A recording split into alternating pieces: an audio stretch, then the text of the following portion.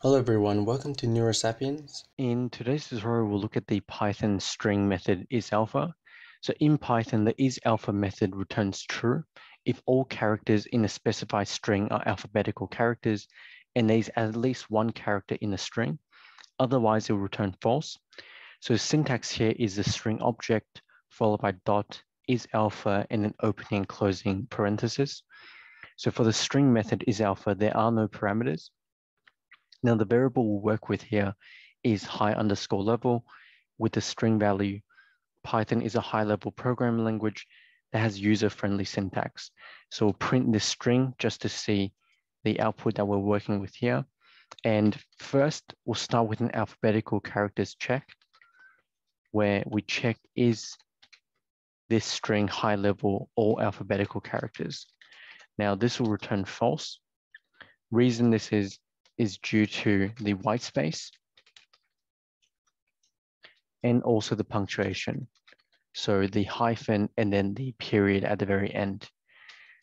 Now, in addition, for is alpha, there needs to be at least one character.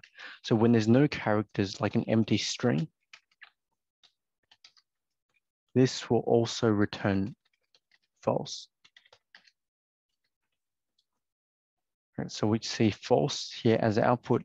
So there needs to be a minimum of one character. And so if this is then rechecked with just a single character, so we create a variable letter A equal to the string A and then print letter A dot is alpha. We can see here at the output here that that is true. And then a few other considerations for the is alpha method is white space. So where there is trailing white space or any white space, this would not be a alphabetical character. So this will actually then return false. So if we had a white space string here, Python, and we print white space string dot is alpha. this will return false. So this is due to the trailing white space in the string. So this white space character here after the n. And so similarly for numbers, this is not alphabetical characters, so this will also return false. So if we had number string here as a variable, where the string was one Python and two CSS, and we check, is this all alphabetical characters? This will return false. Because of the integers one and two. And then lastly, if we also have a look at punctuation and special characters, if there's any punctuation and special characters, the output will also be false. So if we had a string here a variable exciter string with the string Python followed by an exclamation mark, and we print exciter string dot isAlpha. So return false due to the exclamation mark.